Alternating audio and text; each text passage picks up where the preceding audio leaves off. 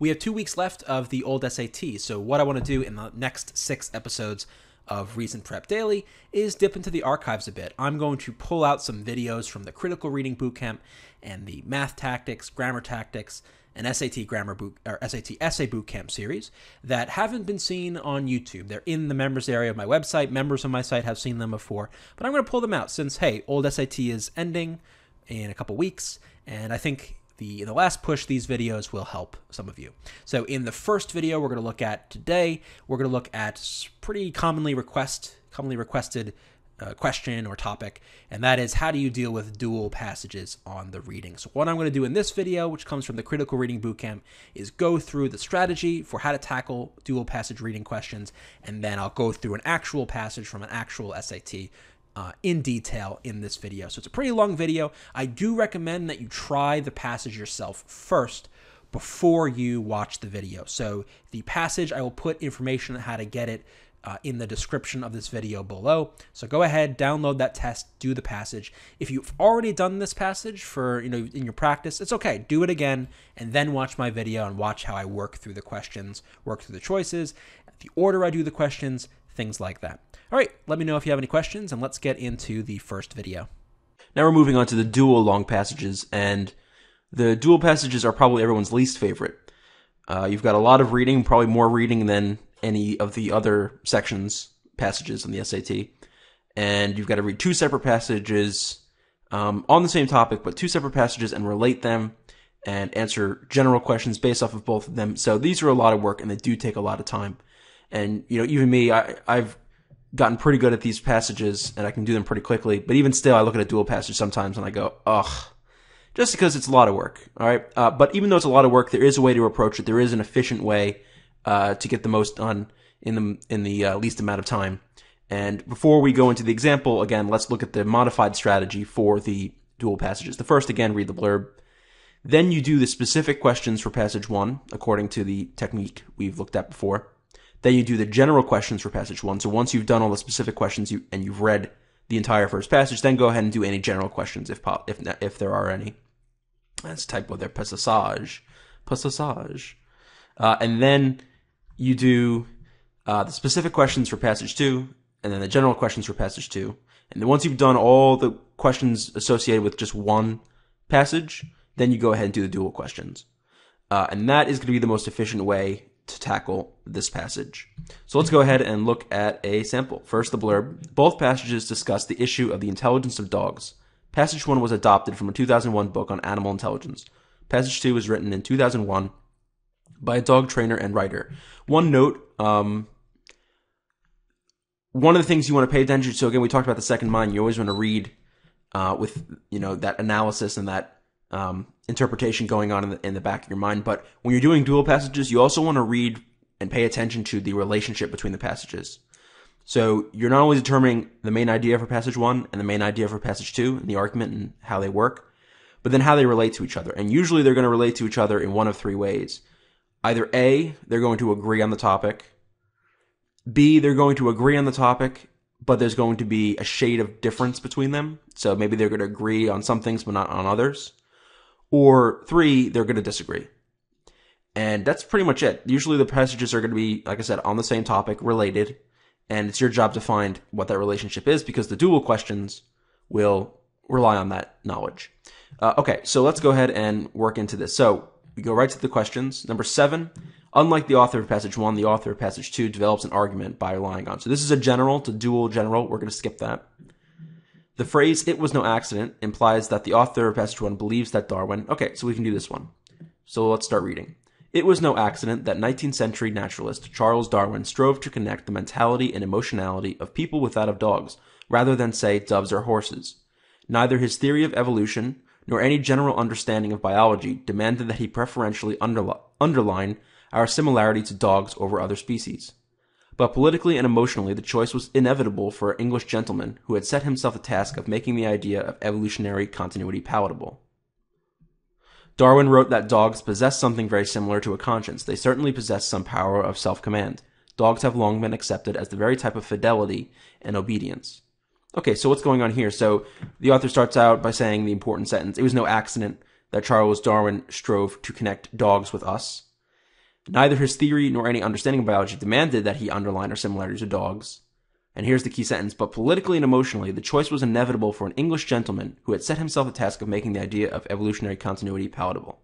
So this is the idea that he would pick dogs because it was useful politically and emotionally, trying to get his idea of evolution accepted. So he would use dogs um, to relate to other people to get them to believe it. So let's go to the choices. Um, implies that the author of passage one believes that Darwin a knew that the resemblance between dogs and humans cannot be accounted for by his theories. That's not mentioned anywhere, uh, so we can get rid of that one. Um, exploited the sympathies of his audience to gain support for his theory.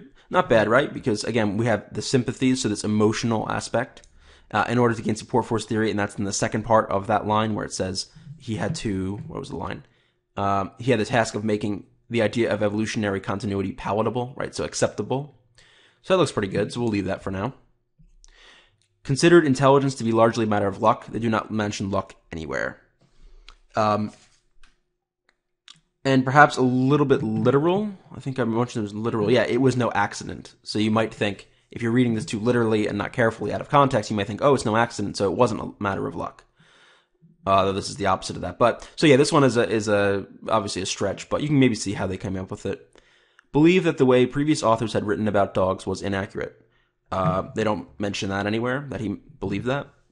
Uh, wish to convince the public to celebrate the virtues of dogs. Again, don't mention that. So the best choice here is definitely B. In line 13, type most nearly means. Okay, so we can answer this. Let's start from line 10. Darwin wrote that dogs possess something very similar to a conscience. They certainly possess some power of self command. Dogs have long been accepted as the very blank of fidelity and obedience. Um, well, how about, again, treat it like a sentence completion? How about example? Very example of fidelity and obedience. So, category, does category mean like example? Uh, sort of. We'll leave that. We'll come back to it. Model, does that mean example? The model of, what was the line? The model of fidelity and obedience, sure, right? The type, the model, the example, that's pretty good. The designation, no. The role, no. The figure, no. So we're stuck between A and B. Now, category. Now, again, thinking about trap choices in the vocab and context questions, usually they'll take a word and use it as, so in this case, type, and they'll put in choices that are basic synonyms. So type and category are basic synonyms, but is it really capturing what's going on here? Uh, dogs have been accepted as the very something of fidelity and obedience. So they're an example, right? They are the the the um if you think of fidelity and obedience, you think of dogs, right? They are that example, that model in this case. They're not the category. That's not quite right. So for that reason, we can get rid of A and go with B. So you can see this is an example. This one is, is rated a medium. It might be a hard medium, but in the, for this test, they rated them only easy, medium, hard, not one, two, three, four, five. So we can't get the exact shade of it, but you can see why this one could be tough, why someone might be tempted to pick category, but it doesn't fit exactly uh, and always use that synonym trick to say, okay, is this just a, a basic synonym that doesn't really work in context? The italics in line 25 most directly emphasize. Okay, so here's an example, by the way, of where punctuation, where that break in the continuity, uh, where something stands out to you uh, because it's italicized, is something that the SAT mentions, and we talked about that before. So let's go up to line 25. Darwin was not alone in his beliefs that dogs possess human virtues. The characteristics of loyalty and obedience, coupled with an expressive face and body, can account for why dogs are such popular and valued pets in many cultures. Depending on the breed and the individual, dogs can be noble, charming, affectionate, and reliable. But while all dog owners should rightly appreciate these and other endearing traits in their pets, nothing says that the cleverness of a highly intelligent primate such as a chimpanzee is a part of the package. Scientists generally believe that reasoning, the reasoning abilities of chimps to be considerably greater than that of dogs. But many people nonetheless believe that dogs are smarter than chimps precisely because of our familiarity and emotional ties with the dogs that we love. So what is this italicized believe doing here in our own words? Well, it seems to be emphasizing that despite what the scientists, what kind of experts believe about intelligence, nonetheless, we still, there are many people out there who, regardless, will believe that their dogs are smarter than what science says. And they do it because uh, we love dogs and we have familiarity and emotional ties to them. So it's it's it's emphasizing that contrast between the beliefs. Um, most directly emphasize a misguided idea that is becoming obsolete. So this doesn't on the surface sound too bad. We'll come back to this. A negative view that scientists adopt towards lay people. No, they don't mention scientists being negative towards regular people. A common criticism of dog owners. That is not a criticism. They don't mention anything with criticism the controversial nature of an alternative theory. Um, certainly, it's an alternative theory, but where do they mention that it's necessarily controversial? And even if they did, again, the italics don't emphasize that. That's what the question wants to know. What the italics emphasize. Um, you know, the controversial nature, it could be true. I mean, it could be a controversial nature. Even if we granted it as true, it's still not what's being emphasized by the italics. The intensity of a conviction based on sentiment. So on the surface, it's not clear how this relates to anything, but let's see what it says. The intensity of a conviction or a belief based on sentiment, which is emotion.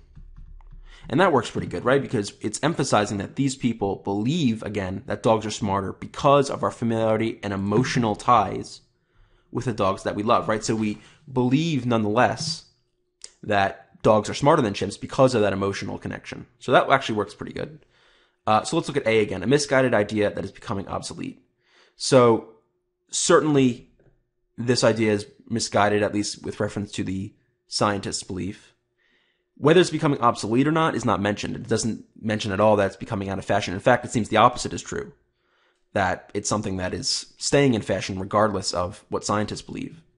Um, and even if we did grant this, again, it's not what's being emphasized. What's being emphasized is this contrast between what scientists believe and what people believe, and why people believe that they do so for emotional reasons. So we can get rid of A, and we can go with E, and that's the answer here. 11. In line 29, the author of passage 1 uses the word old to suggest that the story is, okay. Uh, we apply the same secret rules to our fellow humans. The old in group, out group story. People in your in group are those who are similar to you, either because they belong to the same organizations as you or enjoy the same activities, or, and this is the kicker, because they're simply around more often. Dogs, because of their proximity to their owners, are definitely in. Okay, so we apply the same secret rules to our fellow humans. The old, so the how about like the standard, the well known, right? The well known, the standard in group, out group story, right? It's that story that we, that applies in many different places that we've heard before that uh, is relevant for this case. So the familiar, yeah, right? It's the, it's the story that we've heard before that's well known. So that looks pretty good. The historic, now historic might go with old in terms of a synonym, but they're not mentioning anything about history here. There's no sense that that's, that story, quote unquote, is historic, at least as mentioned by the passage. Fictitious, that's fake. Again, no mention that it's not a real story or not a real phenomenon. Tiresome, no mention of that. Outdated, again, kind of sim- sim- similar to old, but there's no mention that it's outdated or obsolete. Again, they have to mention that specifically. So familiar is going to be uh, the choice here. Darwin and Meek serve as examples of okay, this is a detailed dual question. Um, you can see we have to compare what Darwin and Meek are. So we need something in passage one and something in passage two, and then get the answer. So we're going to skip this one and come back to it. Uh, 13. In line 53, the author. Okay, so this is a passage two. Let's finish passage one quick. The intensity of our relationship with dogs causes us quite naturally to imbue them with high level mental abilities, whether they have earned those extra intelligence points or not. We like them, so we think well of them. Okay. Uh, so let's go to 13. So we need, in line 53, the author of passage 2 uses quotation marks. Okay, very similar question to 10, which was about italics. This one's about quotation marks. So why does the author use quotation marks, line 53? Every dog trainer that I know had the same childhood, a childhood filled with the brilliant, heroic dogs of literature. We read about dogs who regularly traveled thousands of miles to be reunited with owners, who somehow misplaced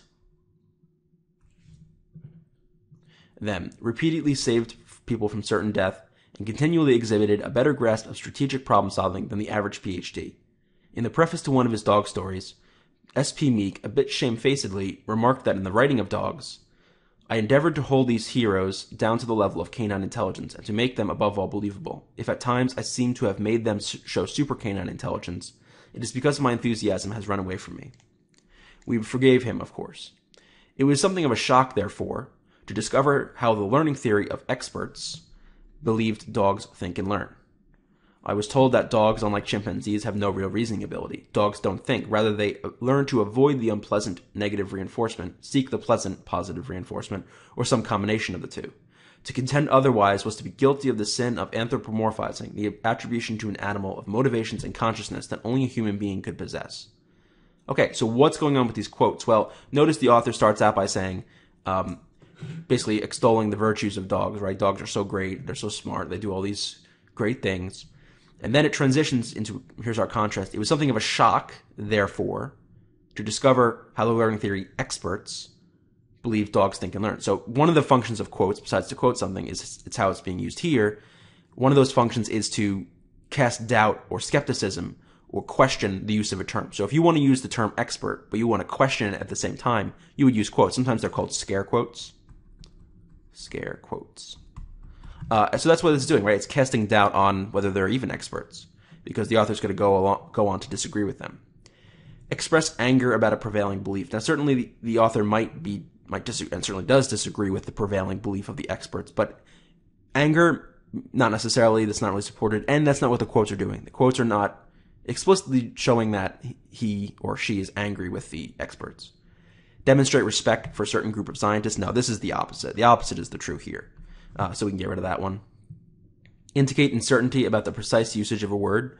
Um, not bad, close.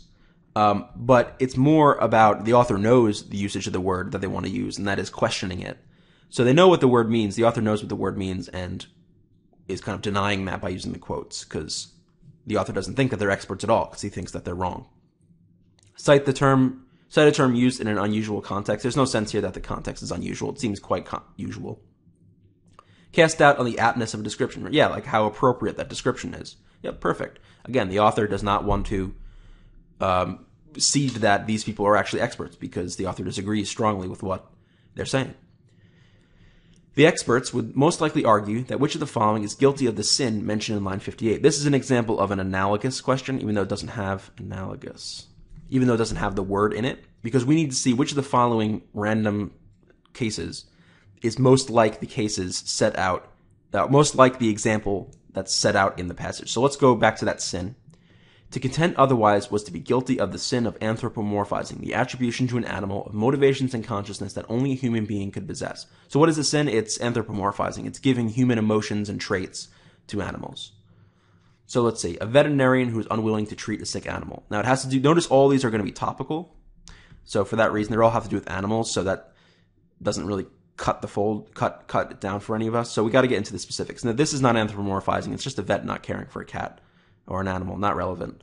A cat owner who believes his cat misses its siblings. Yeah, this is anthropomorphizing, right? You're you're uh, putting human emotions, folding them onto a cat. Whether or not the cat does, I mean, maybe it does, but we don't know. So this is anthropomorphizing. So this looks good. A dog owner who is unwilling to punish her dog for misbehaving, not relevant. A zoologist who places the interests of people before those of animals, nope. A horse trainer who fails to recognize that his horse is hungry, no. The only one that's anthropomorphizing is B. Both the author of passage 1 and the experts mentioned in passage 2, uh, 53 of passage 2, directly support the idea that. Uh, so we could actually do this one now, even though it's a detailed dual. This is where sometimes you can get into the uh, flexibility of the technique. We can do this one now because it's just talking about passage 1, which we've read, and the experts in passage 2, which we've just read as well. Remember, the experts believe that um, we anthropomorphize animals, and that's why we think that they're smart, or at least in this case, dogs. Uh, and the author passage one believes that we think dogs are more intelligent than they are because we connect with them emotionally. So it has to do, both of them believe um, that we think dogs are intelligent because of our emotional connection to them, because of how close we are with them and the traits we ascribe to them. So let's look at the choices. Writers of dog stories intentionally distort the truth for dramatic purposes. Now, that is completely out of left field. Notice they do mention dog stories in passage two, so this is kind of a recycled words error.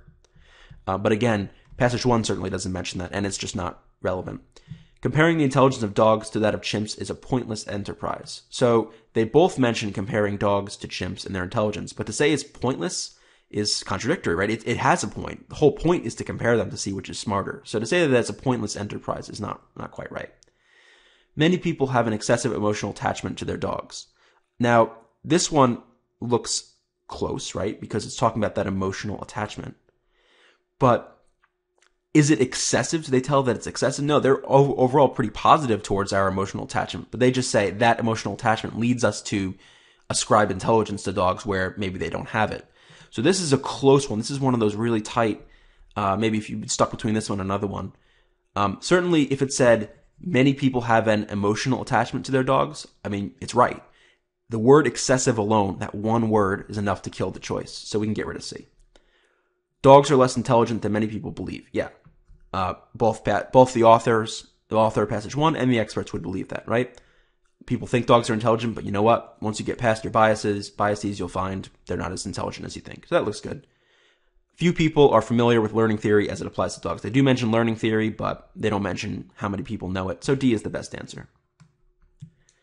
Based on lines 63 to 67, the author of passage 2 would most likely appear to the author of passage 1 as. Okay, so we can't quite do this one yet. We'll come back to it. Uh, we can actually maybe potentially do it because let's actually do 17 first because it's up to 67 to 68. So we want to know what do the lines here principally serve to do? What are their function? So, start from here. Yet as a dog trainer, I find myself siding more with the Meeks than I do with the learning theorists. Nobody could believe dispassionately in the totality of positive and negative reinforcement after seeing the pure intelligence shining in the face of a dog of a border collie intent upon helping a shepherd herd sheep. Dogs do think and reason. Granted, a dog might not be able to run a maze as quickly as a chimp. Here is the important part. But a dog outshines any other animal that I know in the ability to work willingly with a human being, to communicate with a puzzling creature who often makes incomprehensible demands.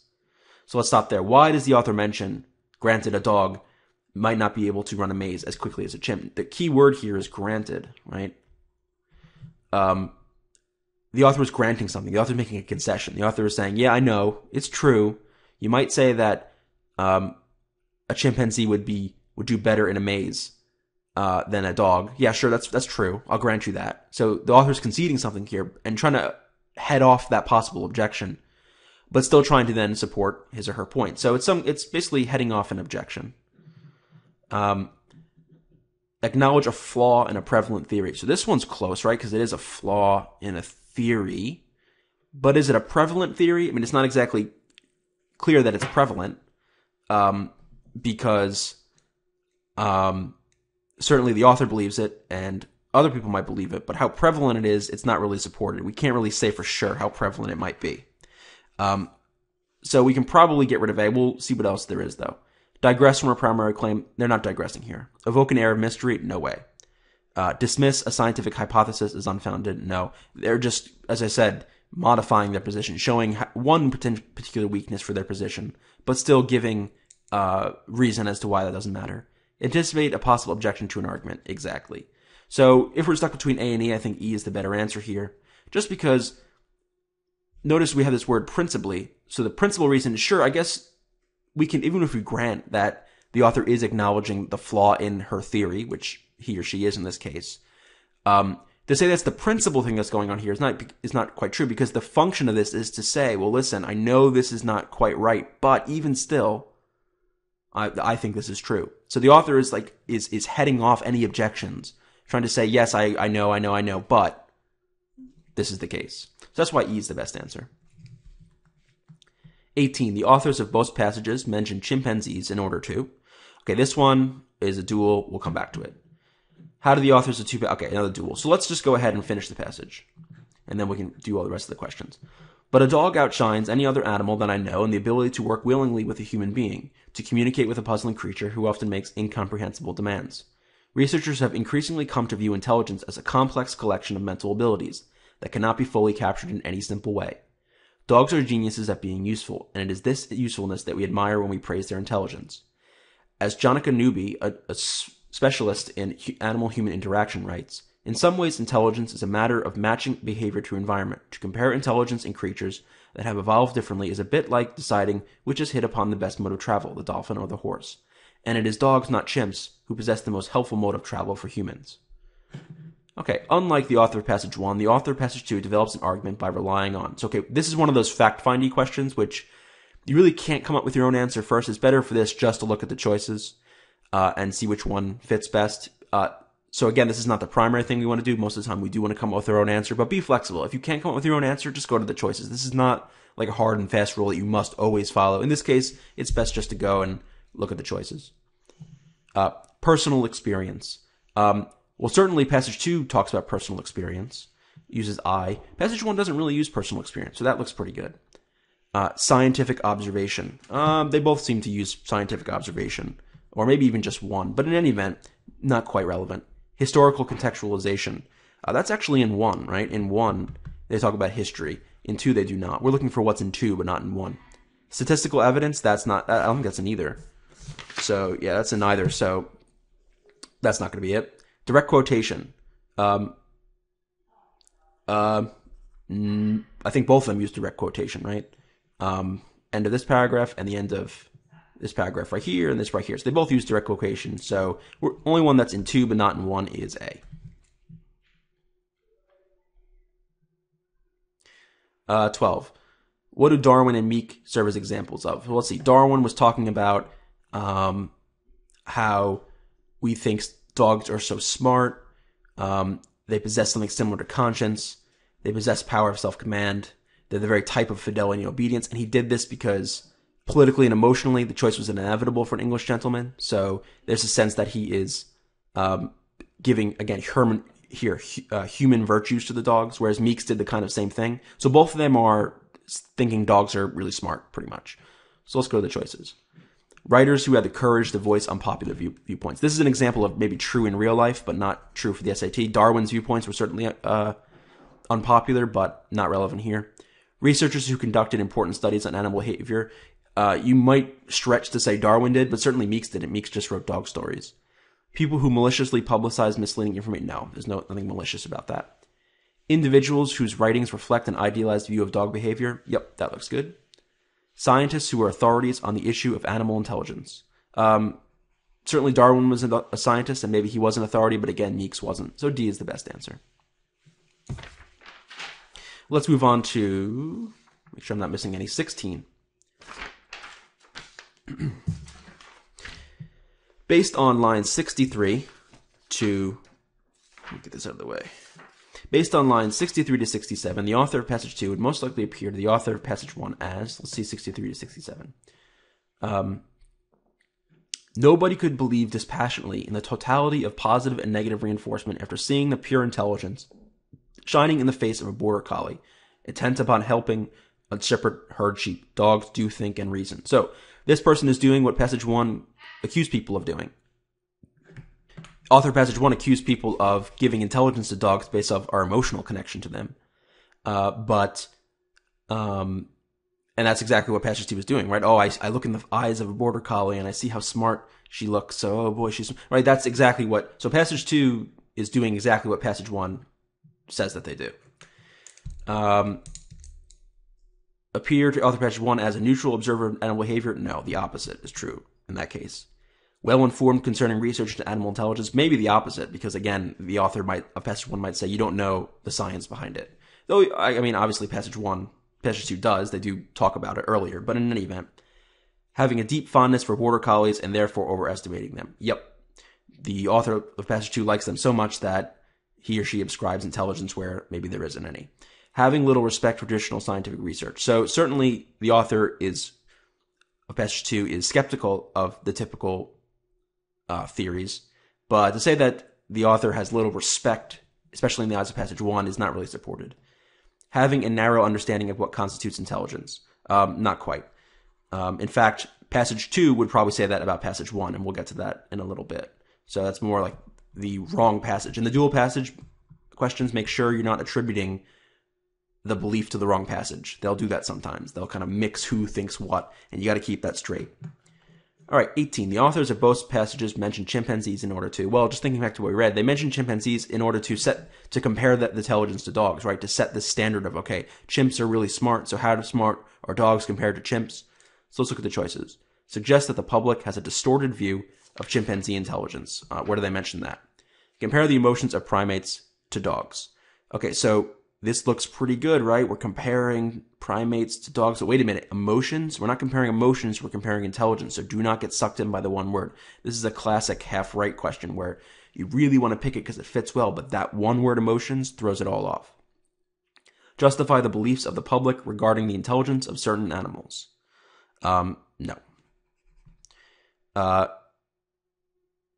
because they're not let's see justify the beliefs of the public regarding yeah i mean they're not trying to justify the beliefs of the public in fact they're almost trying to in some cases uh, in the case of passage one uh, contradict those beliefs of, of the general public criticize an eccentric scientific claim about animal intelligence no there's nothing eccentric there Provide an example of an animal considered to be highly intelligent. Yep. So we pick the chimp because it's a good model against which to measure the dog. Last question. How do the authors of the two passages differ in their assumptions about animal intelligence? Okay, so sometimes assumptions questions can be hard to come up with your own answer as well. So we're not going to come up with our own answer for this one. Let's just go to the choices and see what we got. The author of passage one implies that intelligence is a single entity. Okay, I mean, the author definitely seems to do that, right? Mentions, you know, um, let's see, what's part about the chimps? Uh, Can't seem to find the part about the chimps. Yeah. Um, nothing says that the cleverness of a highly intelligent primate such as chimpanzee is part of the package. Um, extra intelligence points. So the author is, I guess, there's nothing wrong with saying the author thinks intelligence is one thing. Whereas the author of passage two suggests that intelligence can be demonstrated in many distinct ways. Yeah, that's what's going on in this last part, right? Uh, where they have researchers have found that intelligence is a complex collection of mental abilities. Um, so yeah, that looks pretty good. So we'll keep A. The author of passage one believes that no animal can be considered truly intelligent. Where does the author say that? So we can even get rid of B without checking the second part because that whole thing is off. If one part is wrong, it's just like the sentence completions. If half of it is wrong, all of it is wrong, right? Two, think of this as like a two blanker. The author of passage one believes that intelligence can be measured. Uh, I maybe. Whereas the author of passage two believes that such quantification would be unethical. Where does the author mention quantification? Where does it mention unethical? Nowhere. The author of passage one suggests that intelligence is innate, whereas the author of passage two argues that it is acquired. None of them mentions that. This is an example of something you might bring from real life, because this is an argument that people have in real life about if intelligence is innate or acquired. Um, so don't bring it in from real life because that's not what's mentioned here.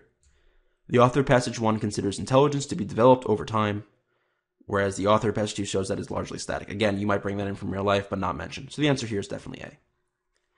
And that is our dual passage. So you work it through like that specific one, general one, specific two, general two, dual. And if you follow it that closely, uh, you should do it as efficiently as possible. Okay, let's move on to do a fiction passage. To learn more about Reason Prep's SAT, SAT subject test, and ACT video courses, go to reasonprep.com/enroll, and you can find the link in the description below the video.